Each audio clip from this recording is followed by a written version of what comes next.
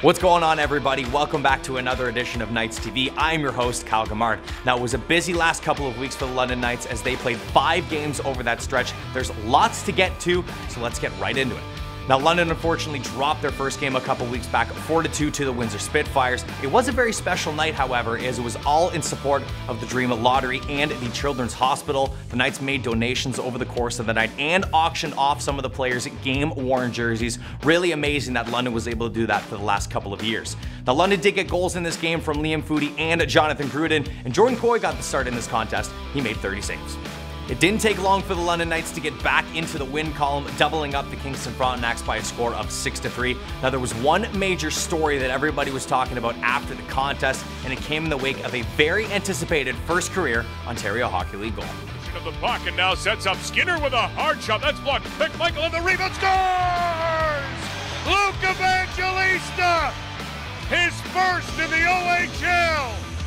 Luke Evangelista getting the gorilla off of his back, scoring his first career Ontario Hockey League goal, and the kid wasn't done there. He went on to score his second and third of the game and of the season, while also adding an assist for a huge four-point explosion in the game, and I talked to him afterwards. He could not be happier.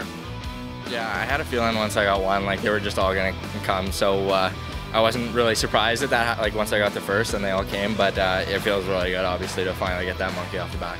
Connor McMichael had a big game, netting a goal and two assists, while Nathan Dunkley also had a goal and assist in the victory. And the Knights continued with their winning ways to kick off the following weekend with a big 5-1 win over the Saginaw Spirit. Now, with the game tied at 1, Billy Moskal scored his first goal of the season to give London a 2-1 lead. They never looked back after that, scoring three more goals to take it 5-1.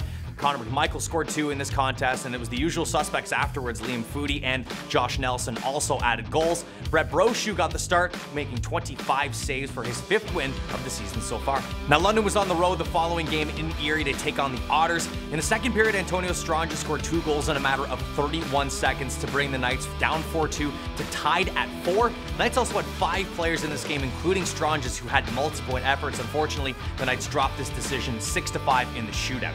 Now, the Knights capped off their three-game set weekend with a big 6-2 win against the Niagara Ice Dogs. Now, the previous weekend, Luke Evangelista had himself a game, netting himself not just his first career goal, but a first career hat trick. And, well, Sunday, he was right back at it.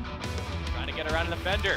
Spinning, passing, it's loose in front, and it's in the net! Luke Evangelista with his second of the afternoon. It's 3-0 Knights. With that two goal effort on Sunday, Luke Evangelista now has five goals over his last four games and 10 points total over his last five. And after the game, he said a lot of it has to do with confidence. Yeah, I think so. I mean, confidence is huge in this league. So to get that first one, like, it obviously gave me a huge boost. Uh, not only confidence, but adrenaline too. So I was just going the whole game after that. Now, you've probably noticed a theme throughout this episode, and that's because we keep bringing up the name Connor McMichael. Well, there's good reason. Over this past five games, he has 12 points in that span. He is showing why Washington took him with their first round pick in this past year's draft. Now, a few other notable names in this one. Liam Foudy had a couple more points. He's been great ever since he's come back into the lineup. Ryan Merkley had a goal and assist, and Hunter Skinner scored his third of the season while also adding an assist. And we talked to him afterwards about how he's enjoyed London so far.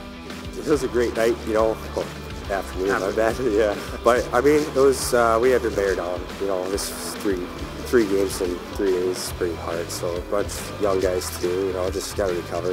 I feel pretty good right now. Not not too bad, but just excited to get the win. London went 3-1-1 over their past five games, including taking five of a possible six points this past weekend. And the Western Conference is tight too, with nine points separating first from last place. And London has games in hand too, so hopefully they're going to be able to take advantage of those moving forward. London's going to rotate playing games at home and on the road over the next four, starting this Friday against the Erie Otters, followed by a road matchup on Sunday against the league-leading Oshawa Generals. They'll then return home the following Friday to take on the North Bay Battalion and finish off on the road against the Owen Sound Attack. For Knights TV, I'm Kyle Gamard.